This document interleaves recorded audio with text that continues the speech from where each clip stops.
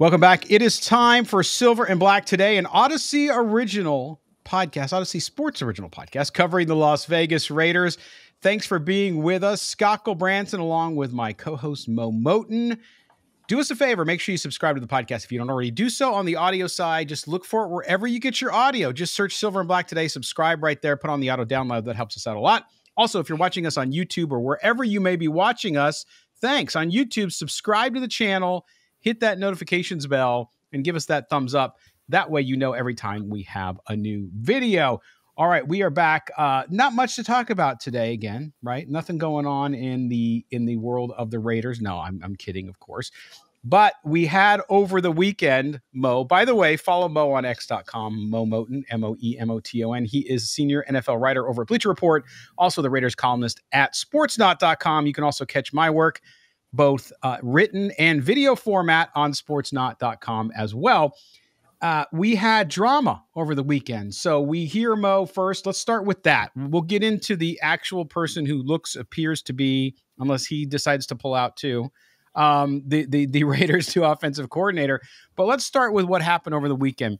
Kliff Kingsbury, all the reports came out from all the regular NFL insiders that that are rarely wrong so, you know, everybody could assume that this was happening. Kliff Kingsbury, the next day, wake up on Saturday morning. Guess what happens? He's withdrawn. He's basically, uh, they had some issues. Different reports say it was a contract issue. We don't have any details of that. We don't have any details. So people are just assuming what it is and jumping to conclusions. But either way, it was a change of heart for Kliff Kingsbury, or something happened and negotiations broke down. And so he walks away. He is now going to be the offensive coordinator of the Washington Commanders. And, and Mo, I just want to get your opinion on this because things happen until the ink is dry, so to speak. Things happen. But it's not, I mean, we have not seen this happen in this coaching cycle where somebody's going to be the coach and it's reported widely and then suddenly it, it's it's not anymore. So again, this is another kind of focus on the Raiders for those of you who don't like the national media treating the Raiders like it's a circus, this is kind of sort of the reason why. Whether it was his fault, the Raiders' fault, we don't know. And I'm not here to tell you which one it was. But that whole thing, it, it's just unusual, especially on such a big hire for Antonio Pierce. I want to get your thoughts on how that all went down with Kingsbury.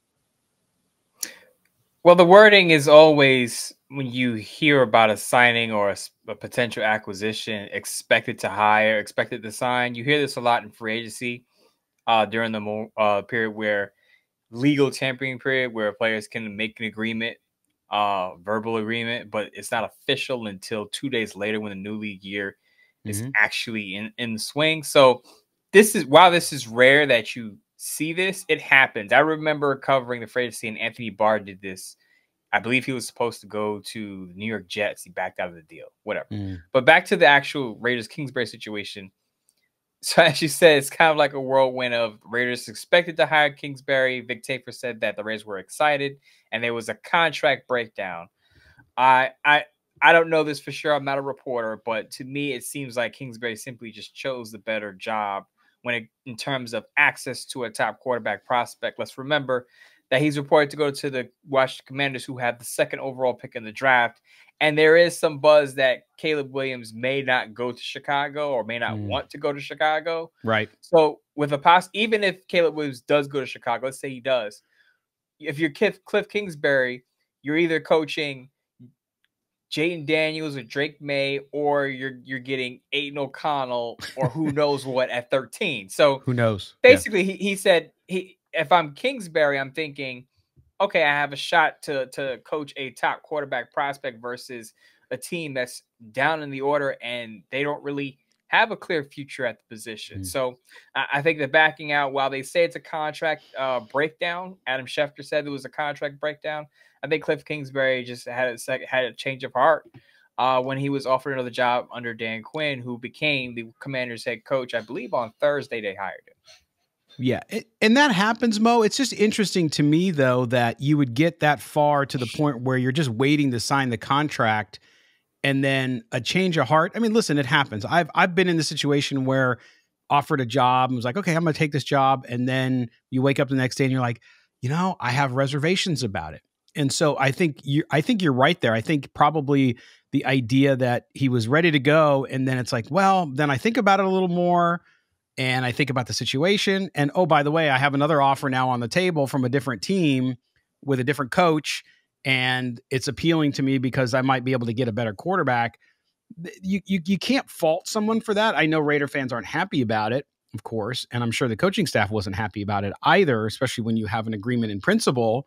But it happens, right? To to your point. So so is this an embarrassment for the Raiders organization? Is the question because you can't control what somebody's mind does or tells them their gut tells them to do with the job but we knew this going in too, right? This is not a criticism, it's just fact, which is the idea that Antonio Pierce, a rookie head coach, and and he might do just great for the Raiders, but we don't know. He's more of an unknown than a Dan Quinn. Now you could talk to Dan Quinn about his time as a head coach and all that kind of stuff, and his time in Dallas as a defensive coordinator, but he's a little more of a known commodity. Would you agree with that? He went to a Super Bowl, Scott. Yeah. Of course he's a more of a Yeah. known commodity. So right. if you're if you're looking at if you're Kliff Kingsbury and you're looking at you know top quarterback prospect, a known commodity who's been to the Super Bowl before with his football team versus Antonio Pierce, who's still relatively inexperienced, and we don't know the quarterback situation is going to be with the 13th Right. overall pick in Aidan O'Connell. Again, choosing the better job, and I'm saying this objectively from a quarterback perspective, the Raiders' job isn't the most attractive or appealing job for an offensive coordinator. So Mm. I'll say this that no one likes to be stood up at the altar, right? Regardless of what you think about, regardless of what you think about Luke Getsy, whether he can succeed or not, and we'll talk about that. Uh, no one likes to have it where you have your mindset on this is the person that I want for this situation, and that person tells you no. No one Mhm. likes to hear no when you want that person, right? No, of course not. So you go to your second option. Now, I also say I don't think that the Raiders necessarily settled for Luke Getsy because let's remember Luke Getsy did interview for the position before Kliff Kingsbury. So Luke Getsy was already on the Raiders' radar. He just wasn't their top choice.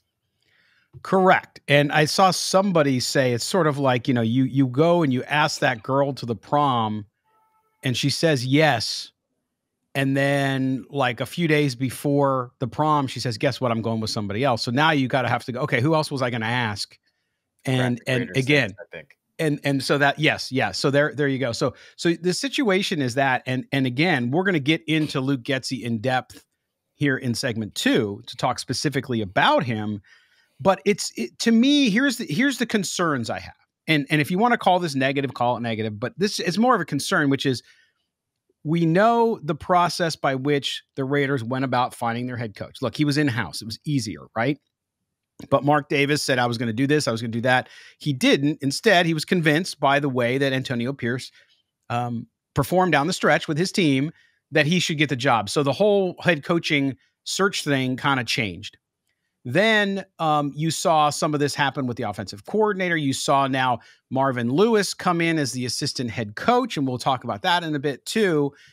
And so it, it, the process has been, I think, not traditional. I'm not saying it's bad per se. It's just from the outside. And this is what I try to explain to fans when they ask, why are the national media so negative about the Raiders? Well, that comes with not winning for so long, number one. It's just organizations, if you haven't had a lot of success, people are not going to give you the benefit of the doubt.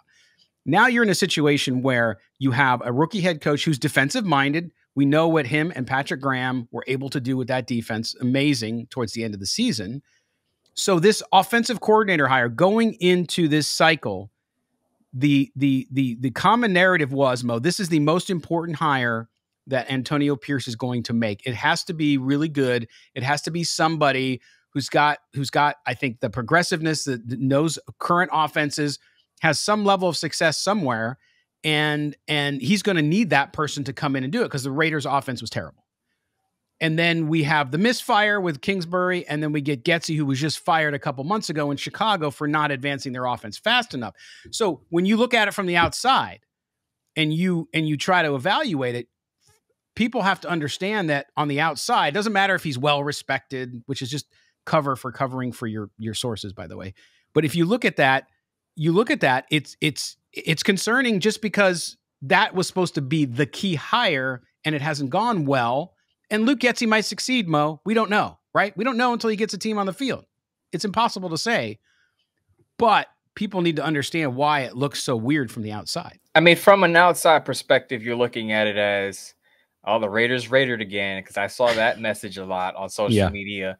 And I think this is something that was just out of the Raiders' control. There's, as you said earlier, there's nothing you can do to help control or control a person's mind.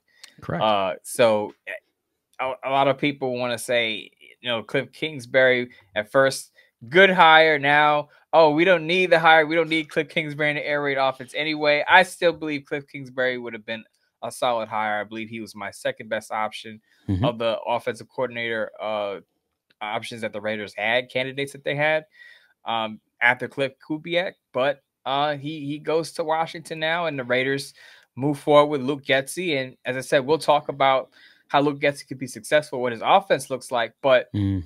if you if you're looking at it too from the outside, you're thinking Luke Getsy's offense in Chicago didn't look good. And the Raiders had to settle for their not settle, but the Raiders had to go with their second option after they wanted to hire Kliff Kingsbury. So of course, from an outside perspective, it's not going to look like a smooth or good uh, move for the Raiders. Well, and I think I think too, it's just it's it's one thing after the other, and I agree with you. I don't think it's their fault when a guy has a change of heart. I don't think you can blame the Raiders for that. The situation the Raiders are in, their position in the draft, their current roster, that has a, to do with it. So in in that way, if you want to blame the Raiders, I guess you could. But again, that it is what it is. You, you're in that situation, and so so whoever came in to interview for the job knew that coming in. They knew exactly where the Raiders were. So the Ra- it wasn't like the Raiders did a bait and switch or something. So I agree with you. I don't think you blame the Raiders for this one. I think fans are just so used to things the floor dropping out mm-hmm. and people are and and the media too. They're just so used to you talked about it as raidering I think that's why, even though this is a much different situation, so I, am not going to be hard on the team because Kliff Kingsbury pulls out at the last minute. That's just what he did.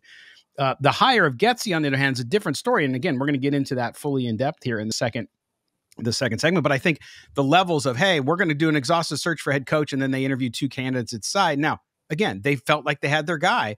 I would have much appreciated. They had to go through the process, obviously, because of the Rooney Rule but um, you know, it just seems as though that that went a little bit strange. And then some of the other things that have happened. You hire a running back coach, Deshaun Foster, which I think is a great exam, a great addition to the staff, but you hired that before you hired your offensive coordinator.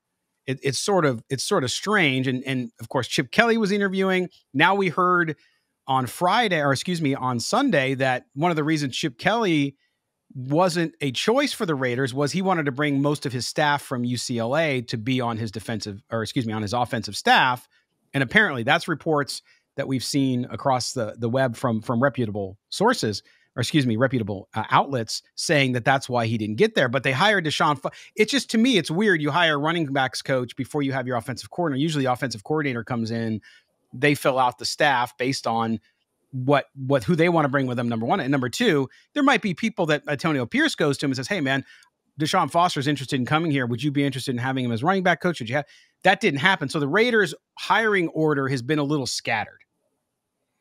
It's been a little scattered. We don't know what the you know what the arrangement was or how you know yeah. guy was interviewed or would you be interested in working with this person or that person. Mm. So I won't I won't really comment on that because we don't know what the back channel discussions were. Right. What I will what I will say is is that looking at the the now the second option for the Raiders in Luke Getsy, you look at his track record and you can start to see what the Raiders offense will look like, which we'll talk about. Mm-hmm. But I mm-hmm. think a lot of a lot of people were disappointed simply because of how it went down in Chicago. Let's remember he was fired from Chicago after two seasons working with Justin mm-hmm. Fields and, Ty- and Tyson Bagent, who actually beat the Raiders in Week Seven this past season. But if you're looking at the numbers from Luke Getsy's offenses, uh, not very inspiring. No, and we're going to get into that right after the break. Good segue, of course, Mo. See, Mo knows what he's doing. He's a professional. Okay, we're going to take our first break here on uh, this edition of Silver and Black today. Coming to you on a Monday. Yes, we're recording it Monday morning. We're releasing it Monday morning ish, depending what part of the country you're in. So if you missed it on your morning commute, at least you get it on your way home uh, as well as the video up on YouTube. So make sure you check it out if you haven't already done so. When we come back, we're going to get into the Luke Getsy file. We're going to talk about his time in Chicago. We're going to talk about uh, his offenses. We're going to talk about the numbers and we're going to talk about some of the reasoning why he might not have succeeded in Chicago. There could be numerous reasons, not just him, but other reasons too that are outside his control. So we'll talk about that when we come back. This is Silver and Black today, an Audacy original podcast. We're coming back right after this. Welcome back, Silver and Black today, an Audacy Sports original podcast covering the Raiders. Scott Branson, Mo Moton with you.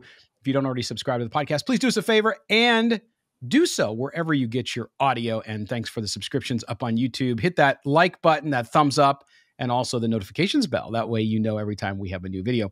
Okay, but we talked about the drama on the hiring of all this stuff going on with Kingsbury and, of course, now Getsy. Now, uh, Getsy still has not been announced officially.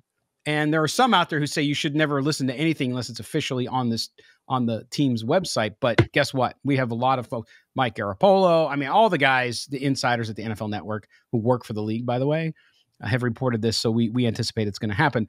Uh, but you look at Getsy in Chicago. He's fired last month. Uh, to as, as what people have described, underwhelming two-year stint with the Bears as their offensive coordinator. They did show some growth under Luke Getsy, very very little, 2022 this team averaged 19.8 points. Let me let me flash this up here. We got a graphic for folks to look at.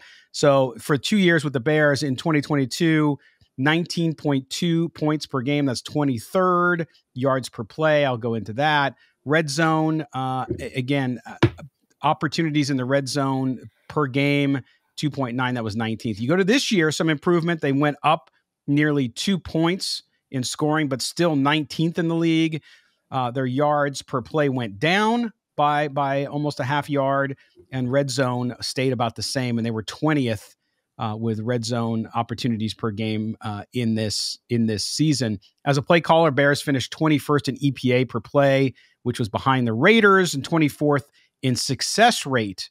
Uh, which was uh, also behind the Raiders uh, this year on offense. So overall, not good number. We'll talk about the reasoning, or at least some of the reasoning behind this.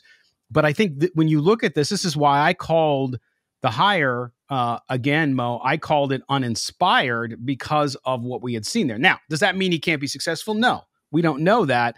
But you look at, uh, I'm looking at the the report from Tashan Reed and uh, and and Vic Tafur, where they talk about the the Bears offense as being quote entirely one dimensional. They led the league in both rushing attempts and rushing yards uh, and they had uh, they had this what they called an elite rushing offense. Although their leading rusher was their quarterback, Justin Fields, uh, but they were dead last in both passing attempts and passing yards during that span. We heard we heard uh, um, Antonio Pierce Mo talk about how he wanted a coach that was going to score 24 points, all that stuff. We also heard him say uh, this that he said that uh, let me see let me get the quote here exactly because I don't want to misquote uh, Coach Pierce on this, but he basically said, "Hey, look, I want a guy who's going to go down, who's going to be creative, who's going to challenge, uh, uh, challenge vertically, all this kind of stuff." We heard from from uh, uh, Antonio Pierce. Here it is. He, he said,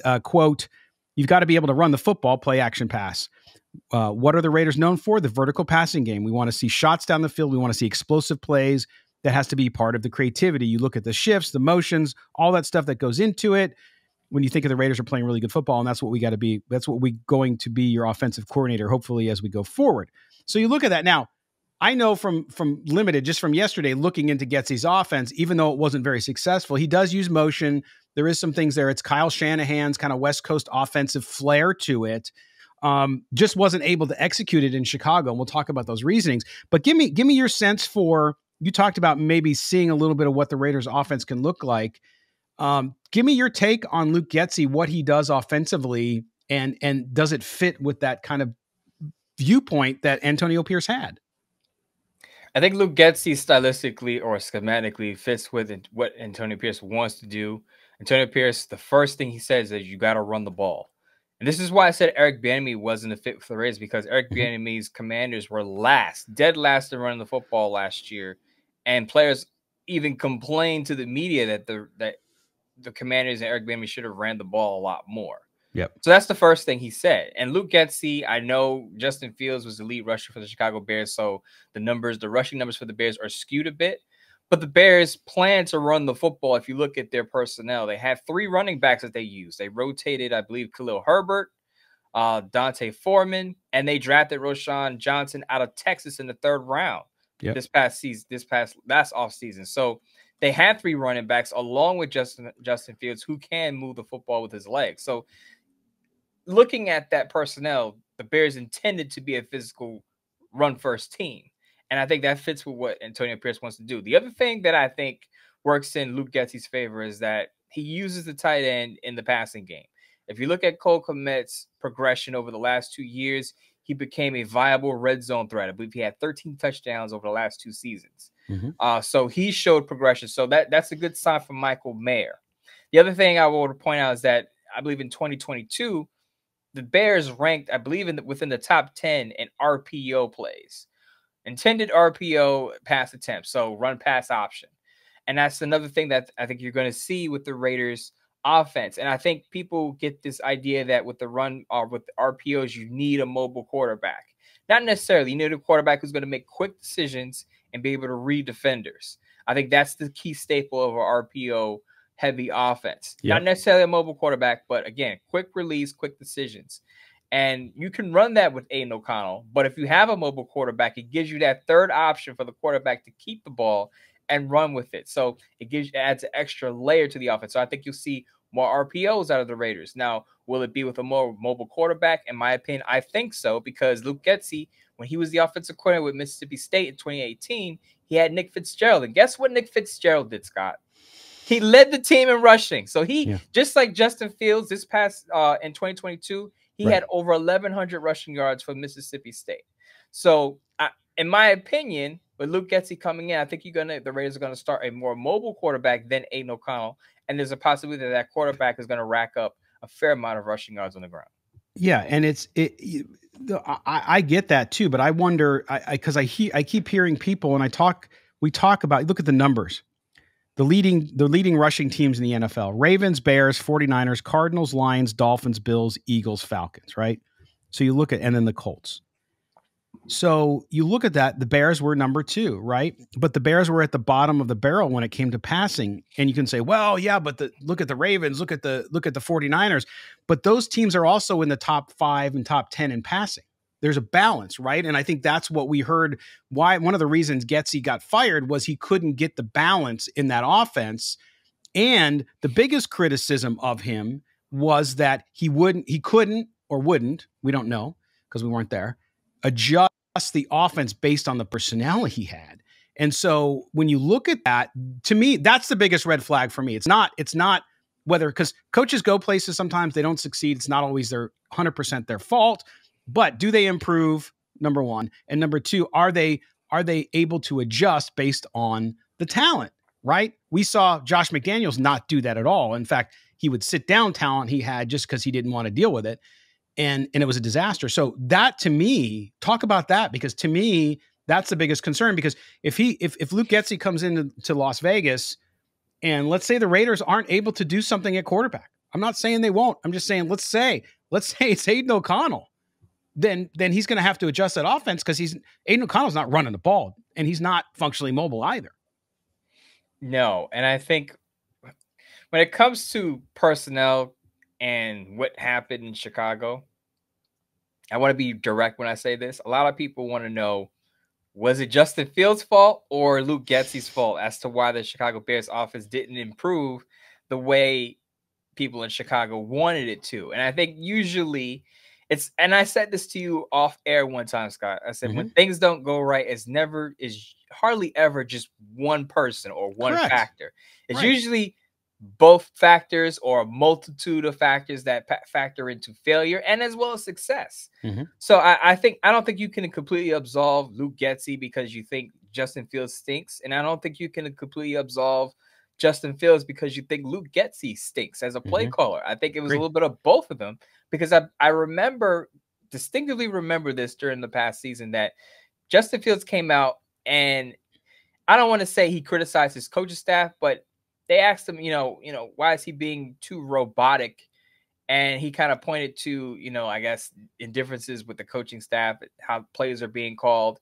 And then he had to clarify his statement because it came out that Justin Fields is throwing his coaching staff under the bus. So he came back, called the yep. media back, and clarified that statement, to say I'm not blaming the coaching staff. And I and the, this is the way I read it as maybe there's just too much going on in his head where he's trying to be a pocket passer, not run so much when he's comfortable running the football and using his legs. And I think that offense, and with Luke Getsy leading it, was trying to help him become more of a proficient pocket passer. Mm-hmm. And it wasn't working out for him. It wasn't until he let loose and started running the football again that that Bears offense started to roll. Now, of course, Correct. he had he was also injured and he had to get back on the field. But Justin Fields does best when he's able to force defenders to defend him on the run. And that worked out well for him. And I think there were periods last season where Luke Getsy went away from that and it didn't suit his quarterback strengths. Correct. And we talked about in in in our conversations here on the show talking about the Raiders possibly going out and getting Justin Fields as somebody to come and compete, not as the long-term answer per se, could be, might not be. It's not going to happen now with Getsy for sure. But at the same time, when we talked about that, we talked about lack of development and that sometimes a different place, a different coach, a different staff can help you find it, right? I mean, not guaranteed, but but and so obviously he's not going to be on the Raiders, so we can drop that one. But you, you also look at this because I saw a lot of this conversation. Well, yeah, they sucked passing the ball because Fields was terrible. It was terrible. It's not it's not Getsy's fault, but look what he did. He had the second best running team. That was also Fields. So you can't you know what I'm saying? I mean, yes, you can't have it both ways. You can't give Get, Getsy credit for having a great rushing offense and then blame the quarterback when the quarterback was the one who made the rushing offense, by the way. Exactly. So again, it goes to show the nuances, right? Which is which is your point, which is it's not one person's fault. It's also the mm-hmm. head coach's fault. The head coach oversees the offensive coordinator. Why mm-hmm. didn't he push Getsy to do things differently? That's on Eberflus. That's not on Getsy per se. That's not on Fields. It's not on the players. So again, it's it's a situation where you have that. So we have we ha- we have to look at that. But you look at Getsy's record there. A lot of people, well, Davante Adams loves him, and and and and and uh, Aaron Rodgers loves him. It's like, yeah, but he was the passing coordinator. Very different role. We all we can go on is two experiences with that. Now, again, Antonio Pierce doesn't have a lot of experience either, but we have we saw him coach nine games in the NFL. We kind of know what he does, his style, the things he needs to learn. Then we look at Getsy. You talked about his college experience, let go after one year. He only lasted a year. Then he went back to the NFL. Then he gets the, the Bears job. He lasts two seasons and he's gone there. Again, people fail a lot and then succeed. So I'm not saying the guy can't succeed, but I think this is why there's some there's some concerns there. He's going to have to come out and prove it. He's going to have to do something. And if the Raiders don't get a more viable, I think, quarterback for the year 2024, he's going to be in an ev- even deeper hole to me, Mo, because what do you do then? Then you're limited. Now, we don't know. They might go get a veteran. We don't know. But still, there's just a lot more open questions. And I think going into this offseason, the combine here in three weeks, then the draft, it's just really, really interesting to see how this coaching staff is come together because I think everybody was looking for a really strong um, offensive coordinator that had, that came in with a bunch of ideas, which is why I was in favor of Kingsbury. I, I kind of called that out, but somebody else that was kind of at the forefront of offenses recently that had some sort of success, even if they weren't a coordinator and they they moved up. And with Getsy, I think it was just kind of a dud for people. Doesn't mean he won't succeed. It just it just kind of fell flat. With Getsy, he's kind not kind of he's an unknown. Even though he, as I pointed Good out, he was an offensive coordinator with Mississippi State, and then he had two. He had years with the Packers. Was never the primary play caller with the Packers. Mhm. Passing game coordinator, very different than the offensive coordinator. While he does have input, uh, it's not the primary play caller. We to say this Oh. was his offense. Oh, and he had Aaron Rodgers too, by the way. And he had yes, and he had Aaron Rodgers. So that that brings me to my point that who the Raiders start at quarterback is going to ultimately determine how successful Luke Getsy is Mm-hmm. as the Raiders offensive coordinator for 2024 and beyond. I, I I'll use Josh McDaniels as an example, right? This is an extreme example, but it's still a good example. Josh McDaniels is regarded as one of the best offensive coordinators slash play calls in the NFL with Tom Brady, right? He got Mac Jones to a Pro Bowl. He had Mac Jones playing at a Pro Bowl level. People say Pro Bowl doesn't mean anything. Look at Mac Jones's numbers Since under Josh McDaniels. They were pretty good. Yeah. And then he comes to Las Vegas. He gets Jimmy Garoppolo, who I feel is a big product of Kyle Shanahan's play calling, and Aidan O'Connell. And all of a sudden now his offense is broken. Mm-hmm. Josh McDaniels didn't forget how to call plays. The difference is the quarterbacks that he had. So when you have when it's the same thing with with other um offensive play callers slash head coaches. Sean Payton had Drew Brees in New Orleans. He's looked at as oh the Saints offense, one of the best in the league, revolutionary. He goes to Denver. While Russell Wilson's numbers were decent, the offense doesn't look anything close to what it looked like with the New Orleans Saints. No. Why is that? Different quarterback. Yes. You go from a Hall of Fame quarterback to a really good quarterback, but not a Hall of Fame quarterback, in my opinion. Mm-hmm. So with Luke Getsy, he's the same thing. He had Justin Fields in Chicago, and we all know Justin Fields has some flaws. Absolutely. But if the Raiders get a quarterback who looks like CJ Stroud in his first year, all of a sudden Luke Getsy is going to look like a genius. if the Raiders get a quarterback who isn't ready to start right away, whether it's a vet, whether it's a rookie or a veteran who who doesn't play well, then Luke Getsy is going to look like a bust of a hire. But he's at the mercy of the quarterback position because again, your quarterback determines so much. What is the old saying, Scott? It's not sometimes not about the X's and O's, it's about the Jimmys and Joes. Yeah. The Raiders need to find their quarterback of the future, and it has to be a viable quarterback because if he's not, the offensive coordinator, whoever it was, is going to fail. Mm-hmm. If that quarterback shows promise and makes some strides early in his career, then the coordinator will look like a decent hire. We'll see. Yeah, well, but but also the coordinator that that is absolutely true, but also the coordinator has to have the right environment. What you saw, yes, immense talent with CJ Stroud in Houston, but also the right situation, right? We talked about this with Fields in Chicago not being the right situation, mm-hmm. but if you bring in a young quarterback, you have to develop him. The offensive staff not only calls plays there, Mo, and takes advantage of their talent, but also has to put them in a position to be successful. We saw a little bit of that, I think, at times this past year, even though Bo Hardegree's gone now, with Aidan O'Connell. In certain games, when they game plan, they had a good game plan coming out to take some pressure off Aidan O'Connell to help him be successful. With a young quarterback, especially a, a guy who's going to be mobile like that and, and and talented, if they're able to get somebody in that realm, they're going to have to be able to develop them too. That's that's partly the issue there is you have to be able to do that. That's what we talked about with Kingsbury. One of his positives, he had plenty of negatives too, just like we saw from his time in Arizona. But he did develop quarterbacks every stop of the way, and so that's why if the Raiders were going for a young quarterback, you're like, okay, that makes a lot of sense. In addition to his his his play development, so it, it's going to be interesting. We don't know what'll happen.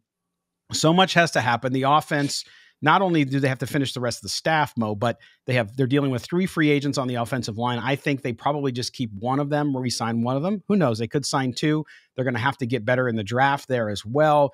They have needs. You know, people I've seen people say, "Well, now this team is a championship team." I don't think so. I think it's close or closer to that, right? It's closer to the playoffs than it is from not being in the playoffs, I think.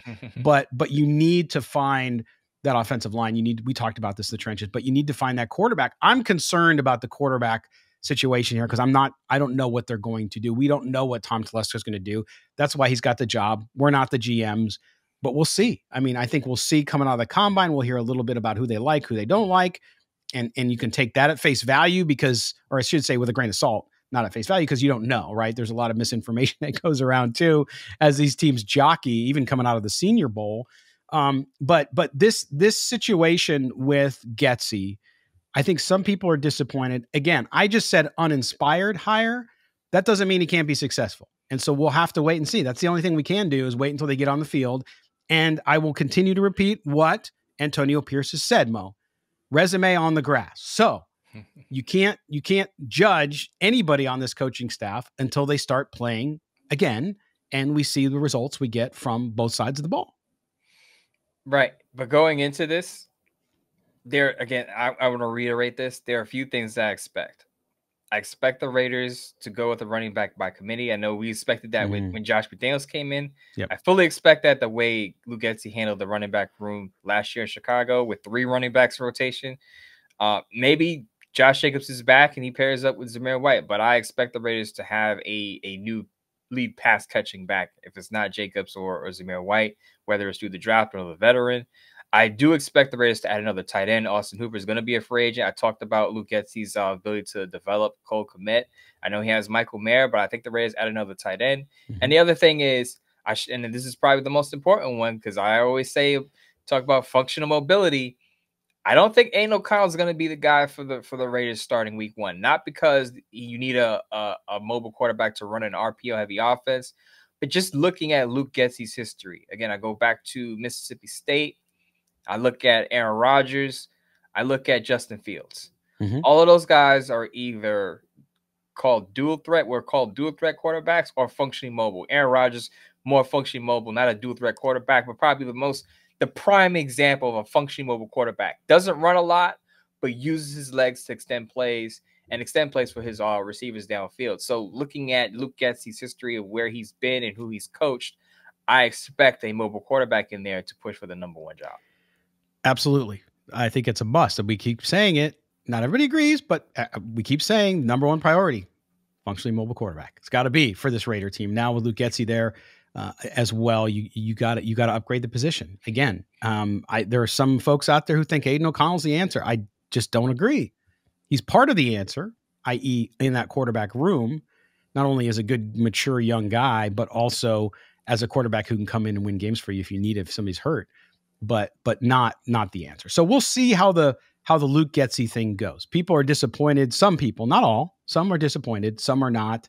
Some are in the wait and see, which is fine. I think the wait and see is where we're at now because what else are you going to do? We we we talked about the hiring, we talked about how he got hired, we talked about his record.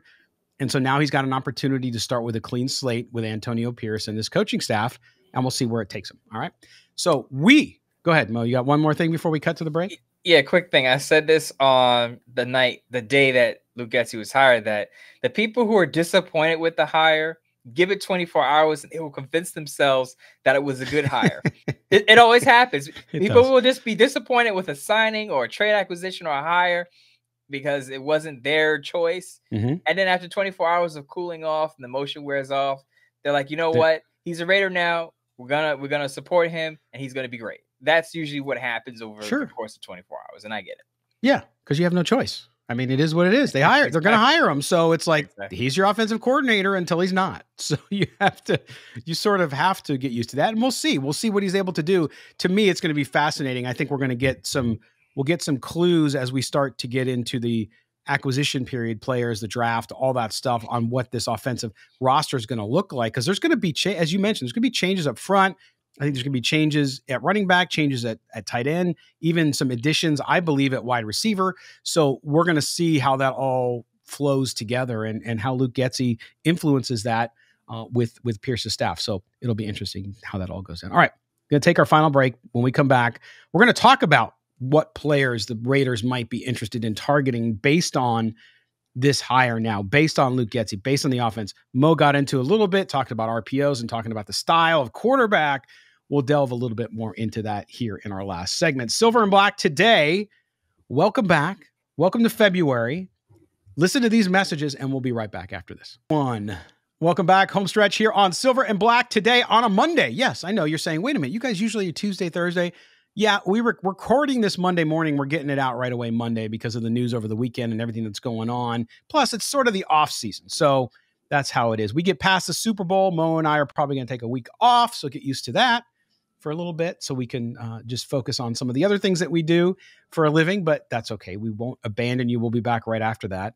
So stay tuned. Do us a favor. Make sure you subscribe to the podcast wherever you get it. Also, do us a favor. Have some conversation with us. Don't be a snapperhead, but but follow us on x.com, Moe Moton, M O E M O T O N. I am at LV Gully, and the show is SNB Today. All right, Mo. So we talked about it. The Luke Getsy now offense we start to think about the NFL Combine is just about just over three weeks away. I'm going to be up there in Indianapolis too, so I hope to get to be able to talk to some of these guys that the Raiders might um, might target. But we talked about quarterback last time. We saw the Senior Bowl this past weekend. Spencer Rattler was a player of the game. A guy I've seen some Raider fans talk about. When you look at the rankings, he didn't make the rankings of the top eight we talked about last week when we were looking at possible quarterbacks in the draft for the Raiders. Uh, and that's what the Senior Bowl game does, right? The Senior Bowl tends to bring players to the forefront sometimes who are ranked based on their numbers in college and all that stuff. And then they get in front of all these college, or excuse me, pro coaches and scouts for a week and and they start to climb or fall down the the the the the, list. Spencer Rattler is one of the guys who rose up there. We saw Bo Nix struggle early in the week, come back strong in the week. We also saw Michael Penix Jr. with the same thing. Mixed reactions on both those guys. But um, you that's and these are the guys I'm talking about because I think the top three are out of reach for the Raiders. I just don't see it happening unless some big big deal happens, and I think the chances of that happening are probably less than ten percent. So if we focus on the ninety percent, you're talking Nix, you're you're talking Penix Jr., you're talking guys like Rattler and others, Pratt from Tulane.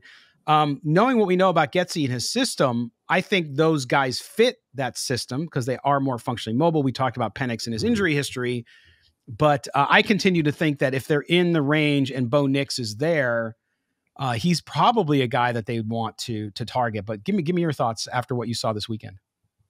Yeah, I agree. So first of all, I want to say that both both Bo Nix and Michael Penix had a mixed bag mm-hmm. performance in totality overall. Matt Holder, my buddy Sobo, they were out there in uh in Mobile, Alabama, and they they wrote about a lot of that. But mixed mixed bag, but they both ended, as you said, on a high note. I will say, I think, and I agree with you on this. I think Bo Nix can run an RPO heavy offense. I think Bo Nix is a fit for Luke Getsy. And shout out to Raider Erie who listens to this show because I'm gonna I'm gonna use the line that she makes fun of me for. But Raider fans aren't gonna want to hear this, but I honestly think that JJ McCarthy is in play for the Raiders mm-hmm. with Luke Getsy there because JJ McCarthy I think can also run an RPO heavy offense. If quick what he did in Michigan, yep. quick release, run heavy offense out there in Michigan, and he didn't have to do too much. So he wasn't right. throwing the ball 40, 45 times, and I don't think with a Luke Getsy offense, you're going to get a quarterback who's going to throw that much. He's going to be a complementary piece, at least early, especially if he's a rookie, to the run game. So I think JJ McCarthy also fits that mold. So a lot of people who are criticizing Bo Nix for a bunch of screen passes and short passes, that's what Luke Getsy's offense looked like in Chicago yes. this past season. Uh, and that so wasn't just because Fields wasn't performing. It was right. that's how it's designed. Right. And and I think there there was one instance where I think Chicago played Minnesota I think Chicago won the game. It was like 12 to 10. It was a very low scoring game. and Justin Fields didn't wow anyone with his throws. It was a bunch of short throws and it was a bunch of, of passes at or behind the line of scrimmage. So again, if you, I, I know Antonio Pierce talked about the vertical passing game, and I think you can build off of play action, yeah, and and do that. But at first, early with a rookie quarterback, I think you're going to get a lot of short passes, a lot of high completion throws, uh, a lot of a lot of stick routes, hitch routes, a lot of RPOs with quick passes out to the flat. You're going to see a lot of that, and I think when you look at the rookies, I think Bo Nix and JJ McCarthy fit that because again, with the RPO heavy offense, you don't necessarily need a mobile quarterback, but you need a quarterback who has a very quick release, mm-hmm. makes quick decisions, and can read defenders because that defender is crashing in. That quarterback can either throw or he can keep the ball if he's a mobile quarterback and run with the football. So there, there is going to be there that quarterback is going to have some quick decisions to make. There's going to be a lot on his plate, but again, quick release, quick decisions. Right. You're not going to see you're not going to see offenses like Miami or Dallas or Houston or even San Francisco. Uh, and I know a lot of people criticize Brock Purdy because they say, "Oh, he's dumping it off, dumping it off," but that's part of that offense. It's basically the same offense; it's a derivative of it. And so you look at that and you look at those quarterbacks, and I think you're right. So so if you the Bo Nix, the JJ McCarthy, that that mold is going to be what you what you probably get if they do that. I'm just questioning Mo whether or not even at 13, if both those guys are there, which seemingly they could be, um, if the if the if the Raiders go quarterback. Um, I, I just don't. I mean, it's such a glaring need. You would think, of course, you're going to go quarterback. I don't know. Do they go in the trenches? Do they go offensive line? Do they go defensive line? And then, uh, but I think if you if you default on the quarterback and you say, well, we're going to go later, to me, then you're putting a lot more pressure on Aidan O'Connell and your front office to find some sort of veteran that's going to come in and help out. Well, the first thing that has to happen is free agency. So I Correct. think what, what the Raiders do in free agency will will tell Tip you kind of what what their draft plan is. If they mm-hmm. go after a a high end free agent quarterback like Kirk Cousins, then it's more likely that they're going to draft a quarterback outside of the first round. If they don't sign a quarterback in free agency or it's a quarterback like Jacoby Brissett, then it's a higher probability that they go early with a quarterback. Mm-hmm. Now the the the fluid thing here is you don't know where these quarterbacks are going to land.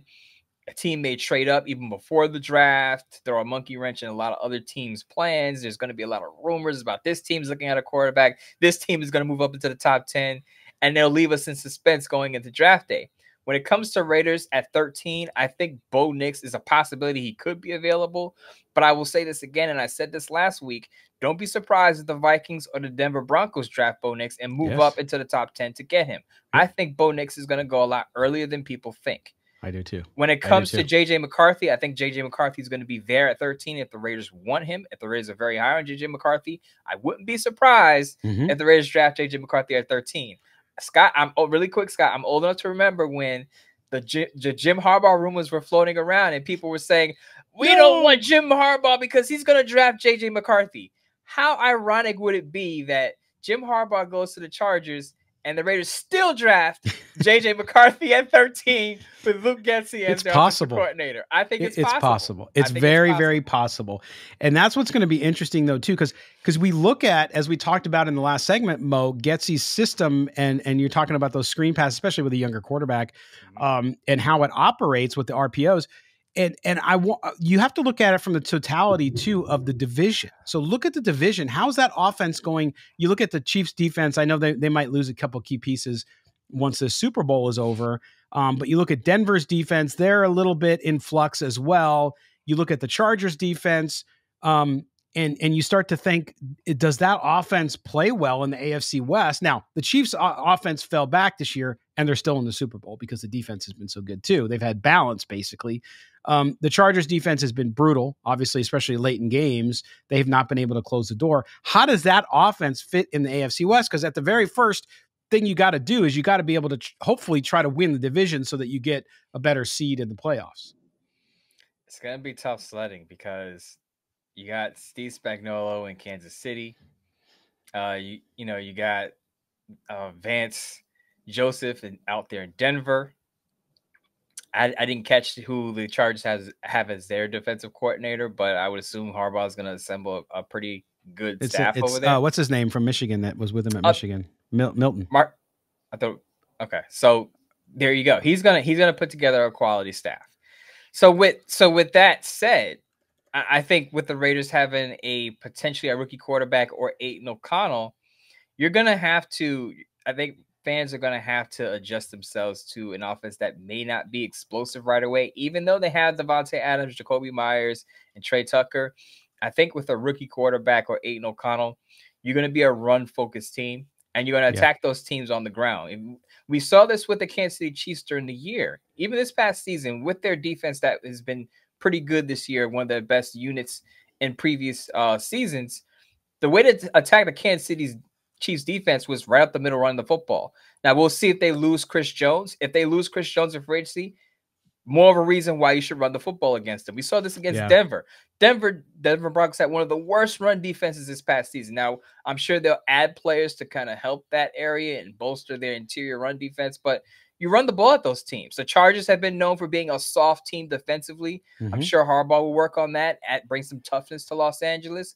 But all three of those teams in recent years have been susceptible to the run. And I think with the Raiders offense, again, with a, with an inexperienced quarterback or even Aidan O'Connell, who has not even a full year of starting experience on his resume, you're gonna see a run-oriented team because I think that's what Luke Getsy said when he got to Chicago. I saw his introductory or his first press conference when he was the Bears offensive coordinator. Mm-hmm. He said, We have a physical football team. And he wanted to lean into that. He goes into Las Vegas, and we all know what, how Antonio Pierce ran that team after Josh McDaniels was fired. Physical football team. So I think you're going to see similarities there between how the Raiders, between how the Bears built their offense with Luke Getsy and how the Raiders will build their offense with Luke Getsy in the upcoming year. Yeah, and and I agree. I mean, we we've heard it, and I know I've heard from fans. So, oh, I'm excited. It's going to be run first offense, and you have to, but you also have to pass the ball. It's the modern NFL, right? So so you have to be able to do it at key times. And if you're, but if you're able to establish your offense, and like you said, especially against some of those teams, get that run going, get it moving, so that you can take some of the pressure off the quarterback, especially if it's a young quarterback. Then I think you're in a good spot. But I think the AFC, look, the AFC overall you, you can look at the AFC West, you can look at the Raiders getting better. But man, the AFC, again, you're going to have a Cincinnati team next year with Burrow back, with additions there. You you have some AFC teams that are going to get better. You still got Buffalo; they got a lot of issues to deal with too. It's just a tough. You talk about tough sledding. The whole entire AFC is tough sledding.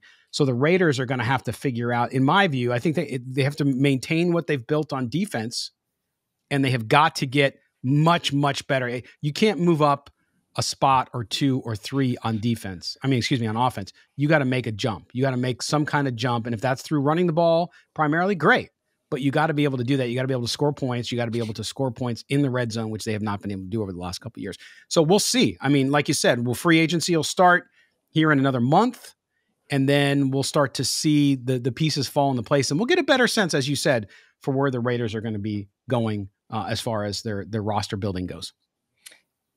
Most important thing for Luke Getsy is got to figure out the passing game. Luke Getsy yep. has shown that he could develop pass catchers uh, Davante Adams, uh, he was Davante Adams' wide receiver coach in Green Bay. Mm-hmm. Mm-hmm. Adams, I'm sure, uh, praised Luke Getsy for his development early in his formative years.